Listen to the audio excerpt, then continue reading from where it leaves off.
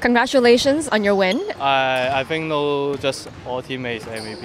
It's a good good one, good pass, and good shoot, good defense. So I just shoot. I'm shooter and just shoot. Okay, yeah. You just mentioned that you're you are a shooter. You actually scored 28 points today, Oh. six three pointers. Oh. What is your secret to having such a good shot? I think I know all time is feel the hand, hot hand. Yeah, it's just lucky. yes. So Rax Dragons is the current number one team, and you guys are the second. How does it feel beating the number one team as the second runner-up? I think uh, they are very hustle and they shooter is very uh, hot hand.